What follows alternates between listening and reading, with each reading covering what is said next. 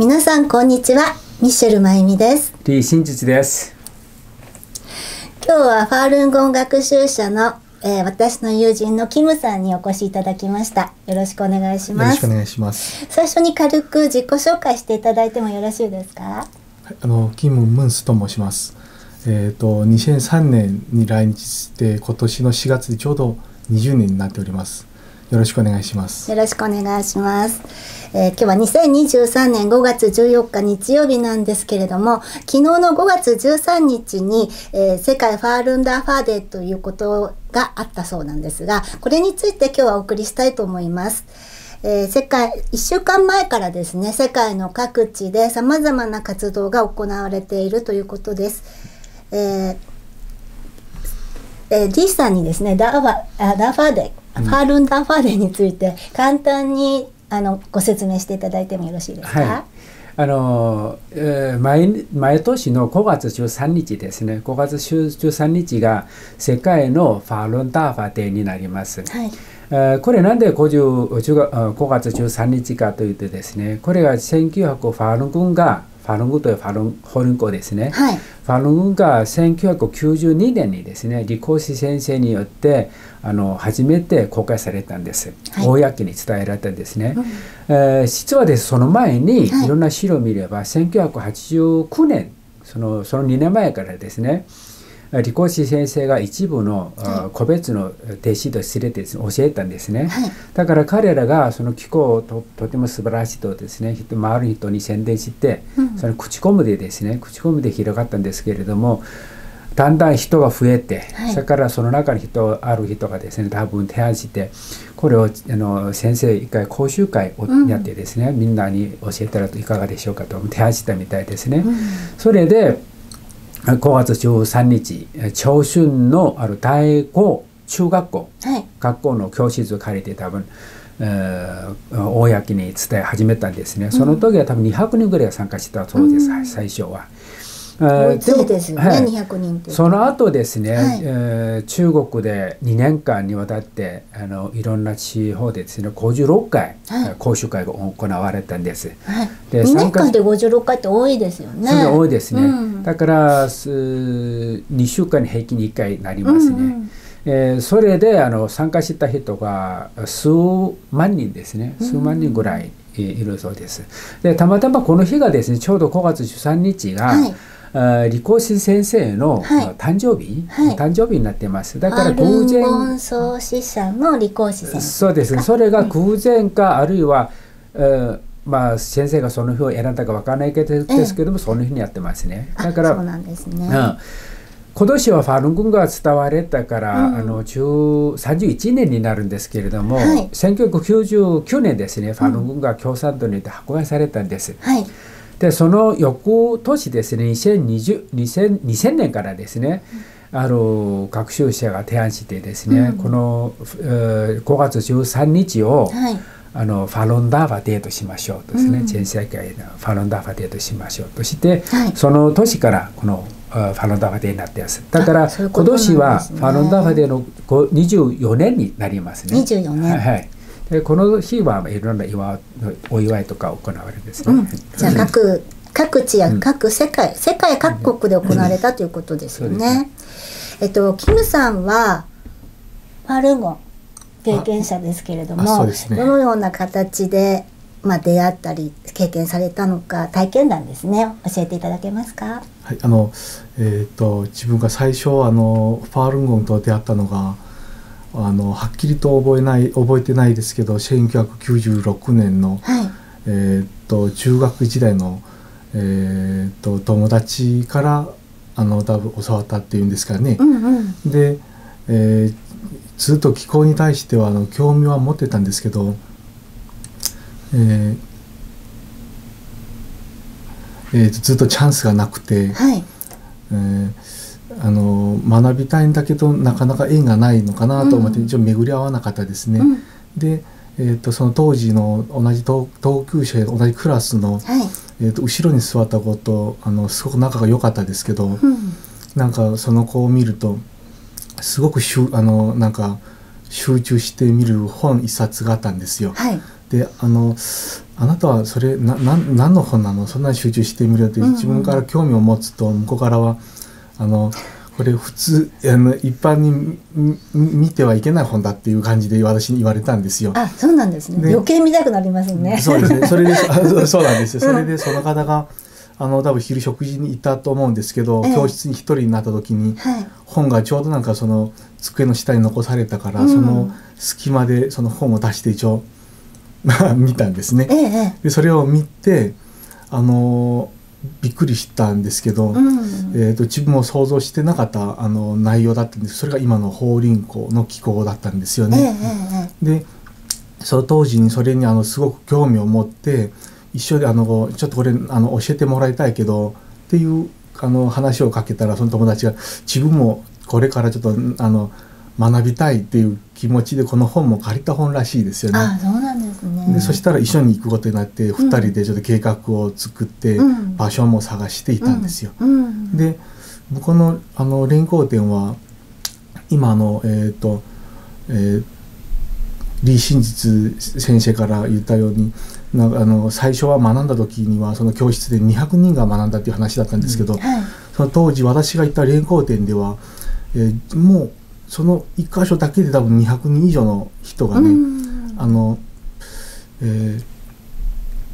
ー、なんか会社のあの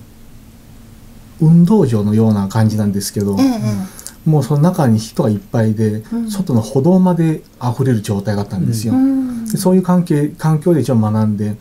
あの恥ずかしくて声もかけなかったですけどね。圧倒されますねその人数ですとね。で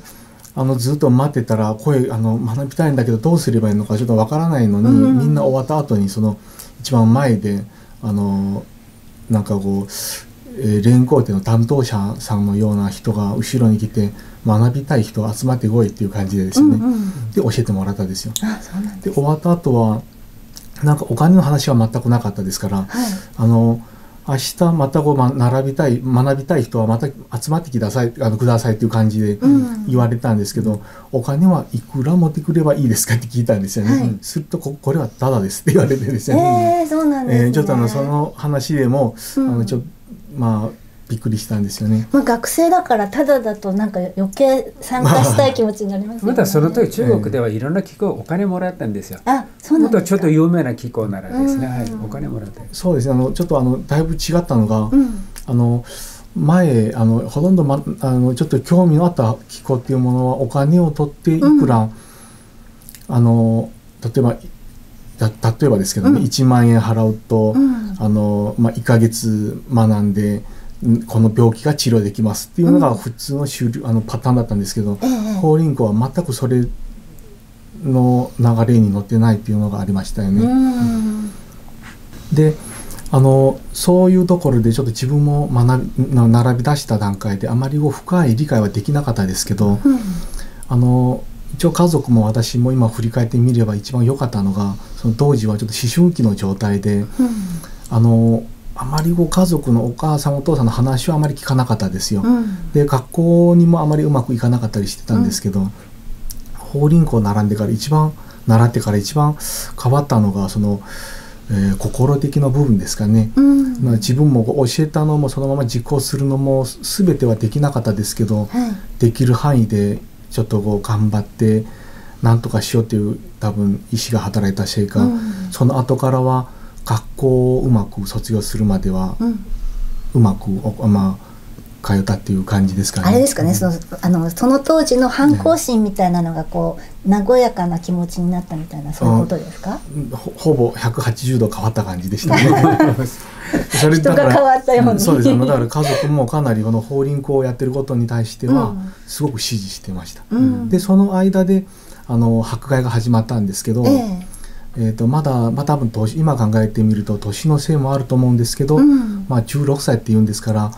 あの、うん、あまり深くはこの部分に対しては並ぶことはできなかったと思うんですよね。うん、あの言っていることと迫害の内容は全く違うんですけど、うん、とこれどういうことなのかなっていう感じで、まあ、自然とそういう環境ももう中国では並ぶ環境がなくなって、まあ、ちょっと薄れてきたっていうんですかね。で日本にその後2003年日本に来てから、えー、ちょっと間が空きましたね。そうです。それ、あのほぼ忘れ、忘れようともしたんでしょうね、うん、本当薄,、まあ、薄く法輪功っていう名前がちょっとあのたまに覚え出すくらいで、うん、で日本に来た時にちょっと留学生活で、かなり体体力的に限界まで来たんでしょうね。であのまあ薬飲んでも、まあ、何をしてももう体力的に限界でどうしてもあの、えー乗り越えられないっていう表現の方がいいと思いますね。うん、あのもう留学生活を諦めて、うん、もう変えた方がいいんじゃないかなっていうぐらいまであのストレスですかね、土地がねストレスと体調が悪くな体体調ですね、で首もほぼ曲がらない状態で、であのその時にどうしようもない時にあの昔のことを覚え出して、うん、あのなんか法輪功は確かにその当時は良かったけど今回もいいのかなと半信半疑の感じで、はい、あの一応自分の近くのうちの近くの連行店を探したんですよ。ええ、それとちょうどあのすごく近くど近いところに一箇所があって、え、まあ行ったんです。で、うん、それでそのその後連行によって、えー、まあそんなかかってないと思う私の場合は1か月ぐらいの連行する間で自然と体が本当にこう何もなかったのに回復したっていう経験がありますね。素晴らしいですね。いつから何今から何いつから何年前からですか、えー、多分5年6年そのあたりだったと思いますね、うん、その前の話だと思います、うん、そうすると結構長い間やってないんですね。あそうです、うん、10年以上、ええ、20年これやってないそうですね。始まった、それからは始まったですね。で、その後はもう続けて体調の方が回復されたということですか？そうですね。今だに元気にやっています。えっと、ありがとうございます。あの、世界ファールンダーファーデーということで、日本でも、あの、その活動が行われたということなんですが。はい、キムさんは日本の活動の方で参加されました？あ、そうですね。ちょうどあの、先日、あの、十、うんえーなえーと、5月13のその5月7日？7日？あ月7日。5月の真実さんも行かれました、であのシェ世界ファールンダーファーデーの,、あのパレードが日本で行われたんですよ、はい、でいつも毎年行われてまして、えっ、とえっと7日はちょっとお天気恵まれなかったですよね。はいはい、あそうですね、ね、そういう時でもあの結婚するあの休まないで皆さんで集まってやるんですか？そうですね。雨の中。あの大体、えーと、その私の気持ちとしてはそのパファールンダーファーでもう参加あのパレードも参加しながらでもこう中国のその迫害される現実もありますので、ええ、そちらの方を、えー、迫害を止めるっていう気持ちも含めて一応、うん頑張って、まあ、雨の日でもできる限りちょっと参加しようかなという気持ちはありますね。うんうん、そういう気持ちで参加されたんですね。今回は横浜で行われてですね。あ、そうですか。の桜あ、これあの傘は差すんですか？はい、いろんな毎年場所が変わるんですね。うん、場所が変わるんですね。雨の中傘差してやるんですか？そうですね。傘差してカッパをかけて、うんうん、私はもうカッパ買ってですね、うんうんうん、簡単なものやって。ます、ね、えどんなことどのくらいの人数の人が来られたんですか？人数的にはですね、あの大体三四百人ぐらいだったんじゃないかなと思いますね。ちょっと多いですね。大勢の方いらっしゃってますね。あの悪天候もあって、うん、あの今回はちょっと少なめだったと思います。うん、前はもうちょっと多かったと思いますけど、ね、えっと日本での活動ということになりますけれども、他の県各地からもいらっしゃっている方がありましたか？そうですね。うん、あの大阪。大阪を切ったんですね、うん、えー、名古屋から来た人もいてですね、うん、まあ、知らない人いっぱいいるんですよ。まあ、私20年前に比べると今今何倍も増えたから日本でですね、知らない人はたくさん来たんですけど。えとことは日本で増えてるってことですか？増えてますよ。かなり増えてますかなり増えてる。20年前、私20年前スタートした時の、もう何倍も増えたんですよ。すごいですね。ベトナム人も多くなってですね。うんかりました。で今回のそのパレットには、はい。いろんなチームがあったんですね、うん、いつもあるんですけど例えば天国楽団だったんですね、うん、前音楽流しながら、あれはなんかあれあの天国楽団っていうのが音楽チームの名前なんですか？そうですね。歩きながら、はい、進行しながら。多分軍楽隊って言うんですね、うん、昔は軍楽隊って言ったんですよ、うん、えー、韓国日本中国でも軍楽隊って言うんですね、ええ、韓国語でも軍楽隊って言いますし日本でも軍楽隊って言うんですね多分。いやもうちょっと分からない。昔こんなのあったかもしれない。それがうちの娘はなんか参加してるとかなんかブラスバンド部とか。そうですそうですね。それとあのまた中国式のその太鼓、うん、中国では太鼓と言わないですけどなんか腰にこうつけるやつですそうそうそうそういうもの、うん、このチームもあって、うん、まだ連行のチームありましたね。ああそうですね。それまた何かいろんなチームが分かれてあるんですね。まだ何かありましたっけ？金さんは何ありましたあの私の方は一応あの、一応プラカードを持ってですよね、そのプラカードの,、あの列に一応入ったんですけど、はい、であの大体一番前にはあのこう天国楽団さんが先にあの出発してその後に、うん、あのいろんなプラカードを持ってる人たちがですよね、うん、その旗を持ってる人もいらっしゃるし、うん、で旗は旗であの、プラカードはプラカードでっていう感じで、そ分けて。ですよね、あと一番あのあの最後にはそのさっきおっしゃってたそのヨークというの、その方たちの後ろにはその太鼓太鼓ですね。腰腰太鼓ね。であのその後ろにそのあの子子供連れのママたちとかねあの一番最後にあのつついてくるっていう。えじゃあ子供も参加したんですか？そうで子供ベベカウ押しながらです。えー、すごい。雨の中で。うちうちの子供も小さい時は行きましたよ。あ、そうなんですね。大きくなっても行ってほしいですね。そうです。あのこれは あの角度を変えて考えても、あのこういった気持ちはやっぱり欠かしてはいけないなと思いますね。少しでもその中国の現状にその迫害されてる現状に、うん、あのちょっとでも力になってほしいなと思います。うん、なるほど。わ、かりました。えっ、ー、と世界のお祝いということになると世界各地世界各国がですね、はい、どんなことをされているんでしょうか？はい、世界各国というと、まあ、いろんな国ありますね。アメリカをはじめて台湾。多分台湾で人数が一番多いですね、今。中国大陸では、うん、まあ、1億人以上いるんですけれども、それを今、いろんな活動を行われない。だから中国大陸からは主にですね中国大陸を1億人いても活動ができないんですか？できない。今中国共産党に、ね、迫害されてるから、だから中国大陸の方は、はい、例えば先生にですねいろんなあはがきとか送るとか、うん、あるいは、個人的な個人個人的に送る、それはですね多分ファルンタファデーにはミンフイネットというところあるんですけれども、はい、毎年2万枚以上来るみたいですよ。あすごいですね。それであのファルン君やらない人、うん、家族、はい、家族たちがその感謝のそのはがきとか、うん、自分の家族がですねもともと病気があったけど、うん、病気があって病気が治ったとか、うん、あるいは子供がもともと悪い人だったけどこうやっていい人になったとか私先生に感謝感謝するそのお手紙、うん、まだいろんなですね警察とかも、最初は迫害してたけど結局迫害の過程で自分がですね分かったと、ファルン語はいいものだと、それで先生にお祝いする感謝すること、そんなものが中国大陸とやるんですね。で台湾の方の場合はあ普段はですね文字人の文字作り人で。文字？人文字作りをやるんですね、うん、いろんなファルンターファとか、シンチェンニンとか、うんうん、シフに感謝するとかあるんですけども、毎年ですねあの台湾のその大きなその一番大きな広場があるんですね。スタジアムみたいな感じですかね。そこで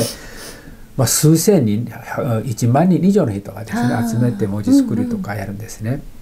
でアメリカでは今年は12日ですね、金曜日に。平日ですね。平日にですね。あのパレードやったんですけれども、うん、あの人数が結構多かったんですよ、うん、いろんな日本よりそのチームが多かったんですね、うん、車のに乗ってその宣伝するとか連行するもの人とかあるいは戦場戦場みたいに形でやってやる人とか、でパレード人が一番たくさんいましたね。でオーストラリアとか台湾とか韓国でもそこでやるんです。で毎年はですね昔は主に、えー、13日、はい、例えば13日がちょうど今年は土曜日だったんですけれども、はい、平日の場合があるんですよ。そうするとその前の土日とかやったんですけれども、うんうん、前倒しにする、うん、今はですねだんだん13日、はい、その日にやるのが多いですよ。うん、で中アメリカでは全世界のその保衛、うん、ファルンゴのその軽減団がやるんですね、毎年やるんです、全世界にとか1万人以上行くんですよ。で会場大きいスタジオを借りるんですけれども、うん、あの人が多すぎてですね毎年人気制限されるんですよ。日本でも100人以上ですねちょっと制限されて、うん、それ以上は行っては会場に入らないから、うん、だからですね制限するんですよ。制限するんですけれども最後に行われたのは2019年。やっぱりコロナが関係してるんですね。その前でやったんですけれども、うん、その時はアメリカであるその世界的な方への場合はいつも先生がですね、うん、先生が会場にお越しいただけてそれであの何かというと説法する、うん、えー、いろんなか、先生からお話をいただくそうですねスピーチですね、うん、スピーチ。あるんですけれども、うん、それは普通のスピーチじゃなくて修練に関するスピーチ、でスピーチ多分1時間くらいやってそれから学習者たちがいろんな質問する時もあるんですね。ものが修練のことですね。質疑応答があるという質疑応答とか、そうやると、まあ、2時間3時間くらいやるんですね、その他はみんな修練者たちが軽減談を話すとか、それをの全世界のそのファロンターファデーのその中心にですね、うん、やることですね、うん、平日も今年はインドでですね、はい、インドで放映が行われてるんですけれども、うん、それは各国の地方のその放映、放映っていうのはお話ですか？放映ということはファルグの軽減団、軽減団軽減団ですね、他のところはみんな軽減団ですけれど、アメリカで行われるものはシーフがで先生が出てスピーチするとかそういうことらしいですね。でいろんな形でやられるんですよ。でこれが多分私が思うには将来ですねこのファロンターファデーが今のクリスマスクリスマスですね、はいはい、それよりもっと大きい規模になるんじゃないかと思いますね。それほど世界で今広がっていると人口が増えている、ね、そうですね、まあ、決まりがないですから、うん。うん、あの韓国の人は韓国人のそのやり方でお祝いする、日本でもですね昔はちょっとあの会場とか借りてお祝い活動やったことあるんですよ。うん、で今は、まあ、いろんな形ですね。決まった形じゃないです、今は。わかりました。今日は世界ファールンダーファーデーに参加された、えっ、ー、と、お友達のキムさんと真実さんにあのお話を伺うことができました。今日はお時間になりましたのでこちらまでになります。ありがとうございました。ありがとうございました